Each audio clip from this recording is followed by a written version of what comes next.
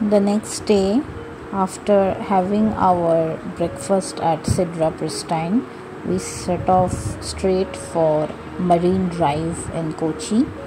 and then after Marine Drive we proceeded towards Fort Kochi and visited all the sightseeing places.